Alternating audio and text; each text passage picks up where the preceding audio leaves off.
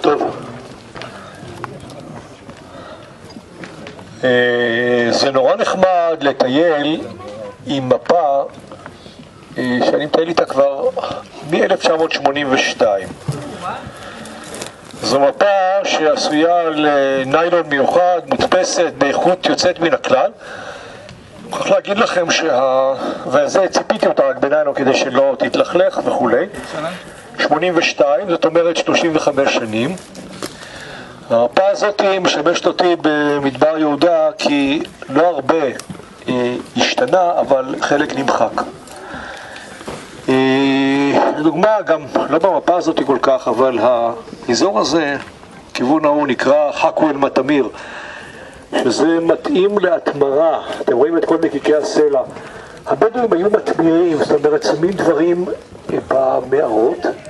חוק המדבר אומר אסור לגעת, מי, ש... מי שיגזול דמו בראשו, משמיים. אל תיגע פן תיפגע כמו שאמרו כאן.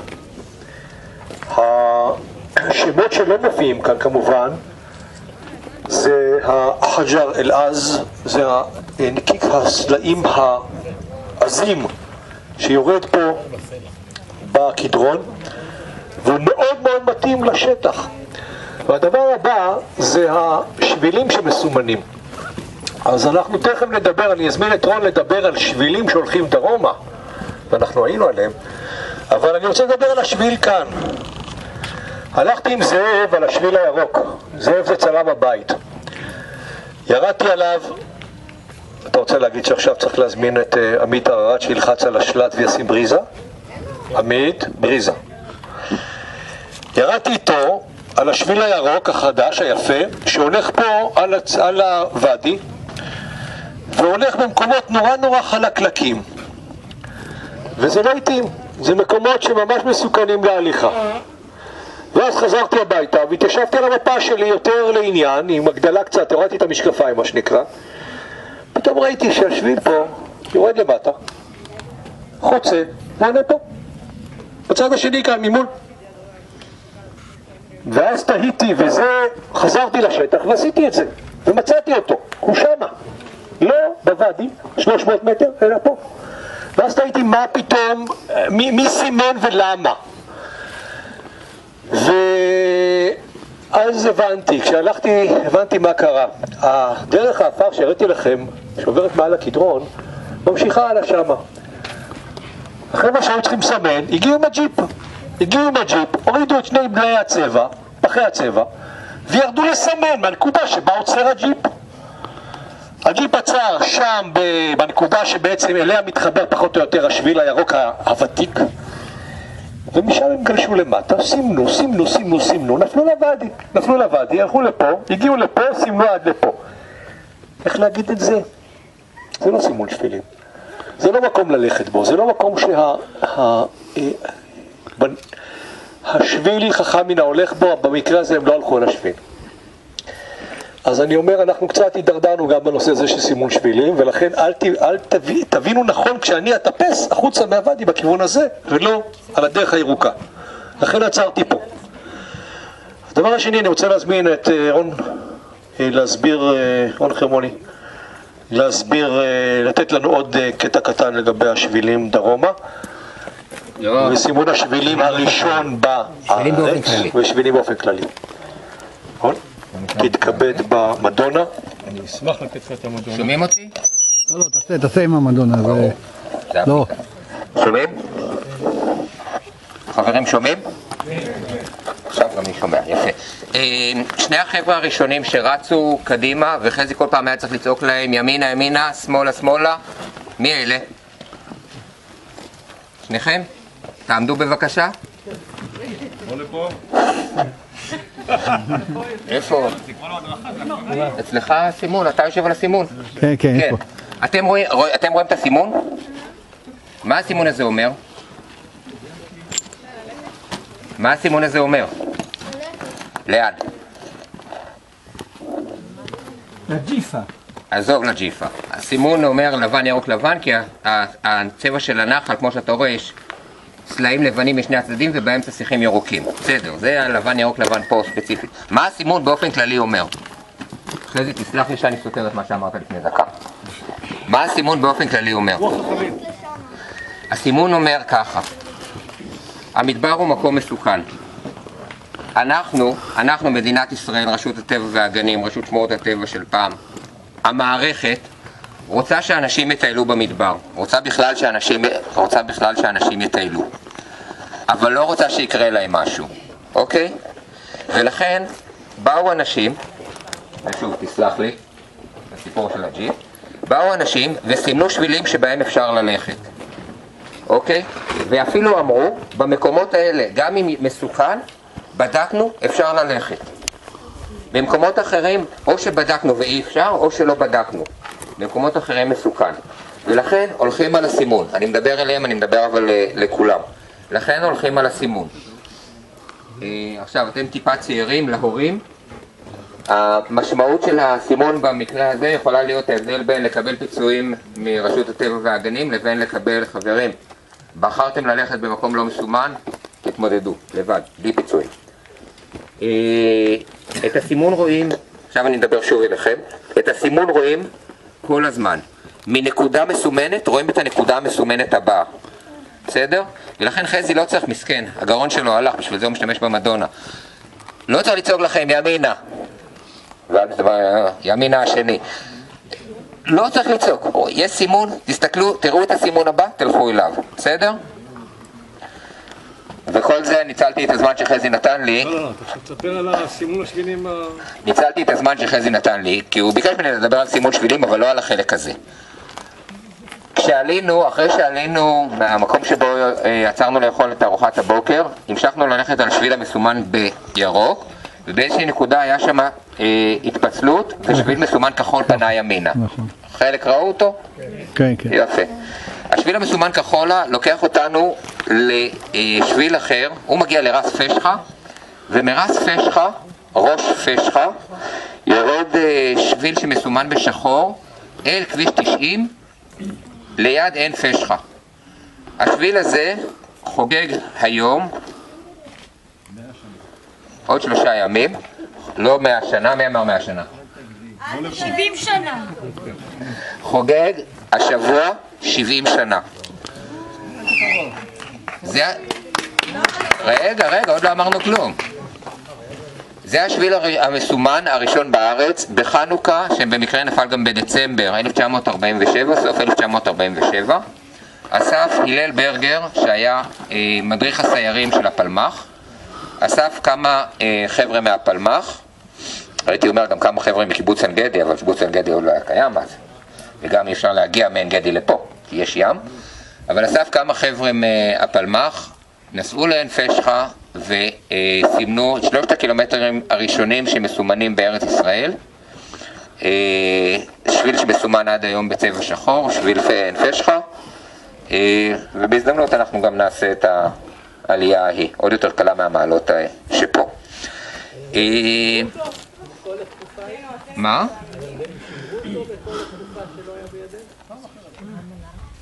השתמשו בו. הש- השתמשו בו כמעבר. הסיפור שחזי הסביר קודם על איך סימנו פה את השבילים וכן הלאה, הוא נכון, אבל המשפט הסיני העתיק אומר חכם השביל מן ההולך בו. אוקיי, מכיר את המשפט? המשמעות של המשפט הזה, המונים כבר עשו את הטעות הזו לפניך, גם אתה, תלך. זה אומר שאם תלך מפה, כנראה זה בסדר. אוקיי? אני לא מתחייב, גם על שביל מסומן אפשר ליפול, אבל כנראה זה בסדר. אם הם סימנו את השביל שם, כנראה שזה מעלה בסדר. ועד היום, גם הירדנים השתמשו בו, ועד היום גם אנחנו אה, משתמשים בו. מאז רק סימנו עוד כמה שבילים אה, בארץ. היום יש בארץ סדר גודל של בין עשרת אלפים לאחד עשר אלף קילומטרים של אה, שבילים. לסיירים הוותיקים שבינינו, כמה כבר הלכתם? אז יש עוד הרבה ללכת. יש, אה, יש עוד הרבה ללכת. אה, שאלו אותי על אה, איך אנחנו יחסית לעולם הרחב בהקשר הזה. האחוז הגבוה. אה, נגיד עשרת אלפים קילומטר על משהו כמו 25 אלף קילומטר רבוע של בלי פוליטיקה, איפשהו בין ישראל בגבולות הקו הירוק לישראל ללא שטחי A נאמר. אמרתי, בלי פוליטיקה. את שמאלנית בכלל, תשתקי. תל אביבית. עשרת אלפים, 11 אלף ל-25 זה בערך אה, חצי קילומטר שביל לכל קילומטר מרובע. אה, יחסית לעולם זה בחלק העליון של הטבלה, יש מדינות שיש בהן יותר. אה, לוקסמבורג, מדינה קטנה, יש בה פי שתיים מזה. בולגריה, מדינה יותר גדולה מאיתנו, אבל יש בה יותר שבילים. אבל אה, אם תסתכלו על אנגליה, יש בה בערך רבע מכמות השבילים שמסומנים פה, וגם זה רובם בסקוטלנד. אז אה, אני חושב שאנחנו יכולים להיות גאים, ואנחנו נחזור לחזי שלוקח אותנו לרבים מהם.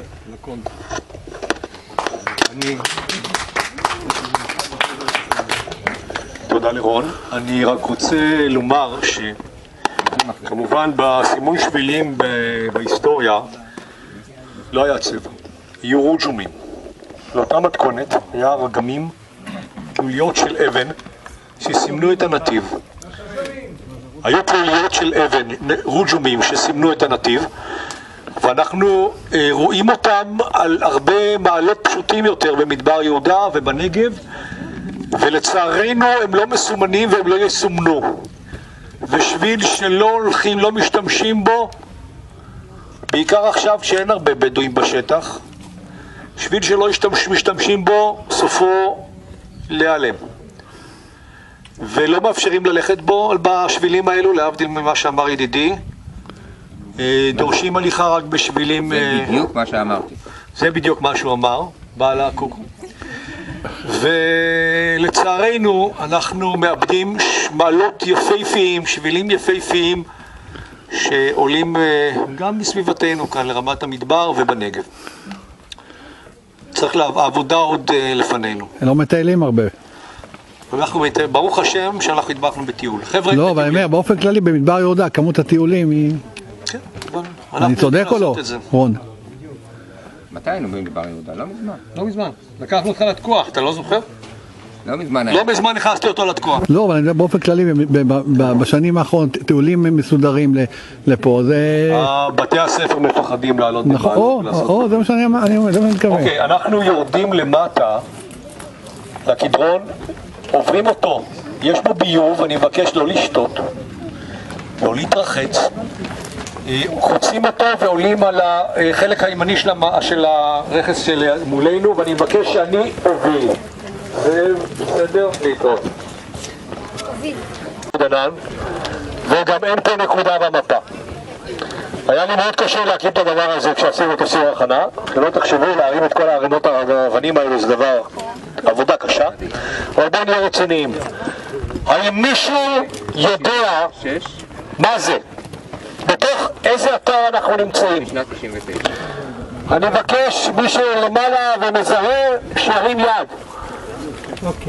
כבודו יודע? הוא לא שומע אותה. מה? מלכודת לימודים. לא, אז זהו, גם אני חשבתי בהתחלה שיש פה מלכודת נמרים, אבל אז בדקתי את המבנה וראיתי שהוא לא מלכודת נמרים, ואני יודע למצוא מלכודת נמרים, תאמינו לי. אבל קיבלתי כאן את התשובה מהצד בשקט. רבותיי, כשמסתכלים על המפה, ואמרתי זה לא נמצא בנקודה הזאת, מסתכלים על המפה, אני אתחיל אחרת. אחרי שראיתי את הדבר הזה, חיפשתי מאמר בטבע וארץ מלפני 30 שנה. וואו. ומה היה הסיפור? חיפשתי מאמר שחילק את המדבר לשב... לשבטיו. ולא מצאתי את זה שם, ולא מצאתי את זה בספרות יותר מאוחרת, ולא מצאתי את הגבולות, ולכן אני לא יכול להגיד לכם איזה שבט חי כאן. אבל מצאתי במקומות מסביב דבר שנקרא, לדוגמה, קובור הדברה, הקברים של שבט הדברה. בקיצור, יש כאן מספר שדות קבורה, בדואים, קלאסיים.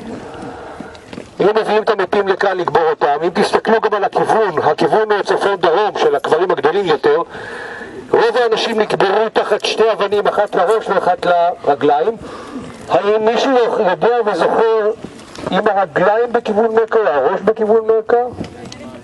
לדעתי רגליים. איפה צפון דרום? איפה צפון דרום? חלק מהדברים מצאתי, בגדולים יותר. שמה, מצאתי. מזרח מערב. לא, לא, לא, לא. נקברים, שוכבים על הצד עם הפנים למכה. אוקיי. מזרח מערב עם הפנים אוקיי, למכה. אוקיי. לדעתי אתה רק לא קורא את זה. לא, לא, לא, לא קורא את זה נכון. מזרח, מערב, לא, מה?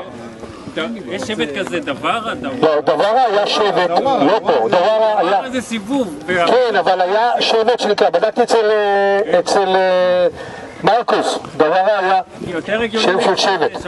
קובורה דווארה, אם זה מה שרשום שם, הרי בדוואר הם הולכים. הזמן חוזרים לאותו מקום. והם שמים את הקברים על הדוואר, על הסרקל שהם עושים, כדי אה, לתת, לתת להם הומג' כל שנה של... אה, אז זה היה, הוא הסביר שם שזה איזשהו שבט בשם דווארה, הוא סיפר גם איך הם הגיעו לאזור מדבר יהודה.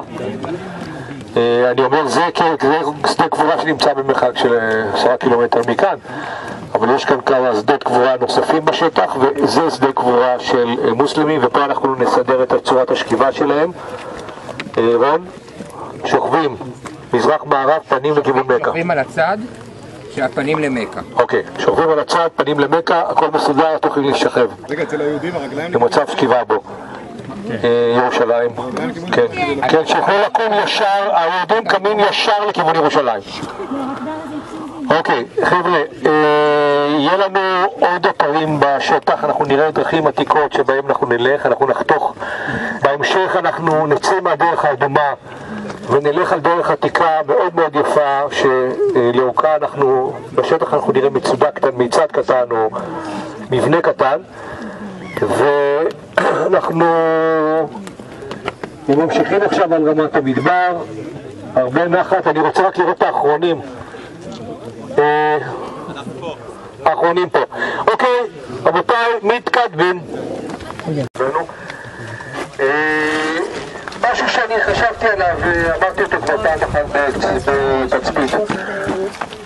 אה, למעשה, במשנה במסכת תמיד, פרק ג', משנה ח', מספרת לנו המשנה על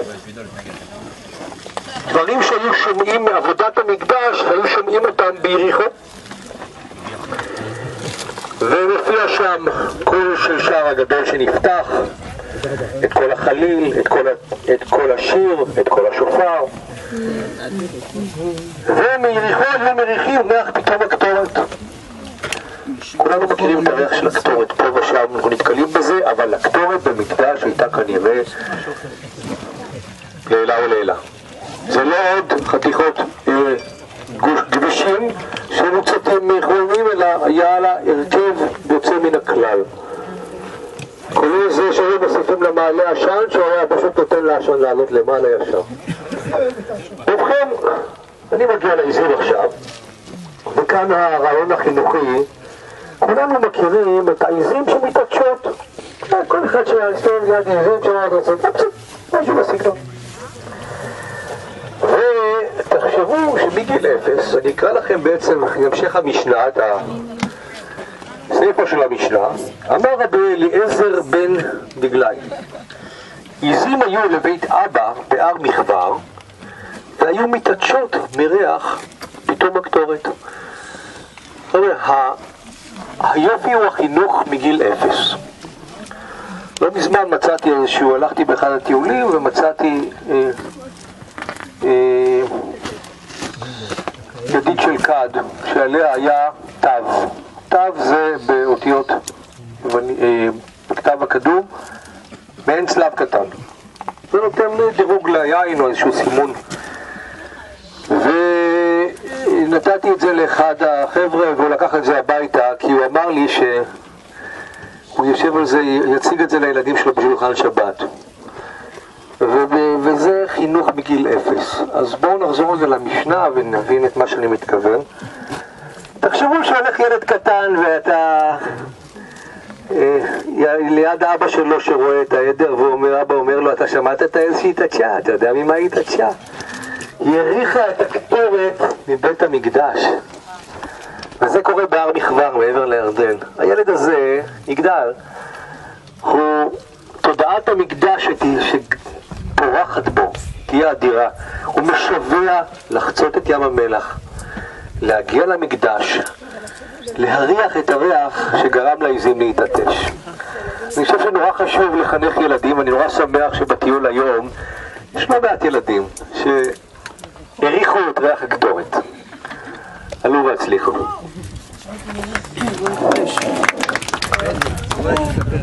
אה, הייתי.